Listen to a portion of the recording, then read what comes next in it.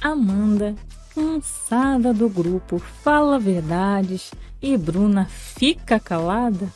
Se você quer ficar por dentro de tudo que está rolando no Big Brother Brasil, se inscreva no canal, ativa o sininho das notificações e deixa aquele like.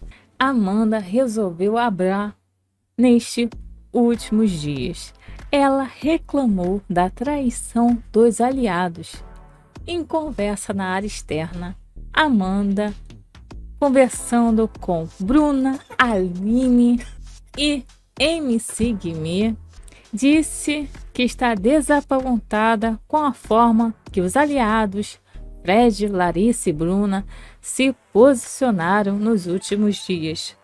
Em uma conversa com Cara de Sapata, Aline e Ricardo, ela analisou os últimos acontecimentos da casa e chegou a concluir que os aliados expuseram o jogo do grupo ao falar para Saraline, Marvila e Gabriel Santana que estavam tentando protegê-los dos votos, lembrando que eles são os adversários. E Amanda disse para Aline: a partir do momento que votaram na Lari, eles estavam cobrando tipo: a gente defendeu você, porque você não defendeu.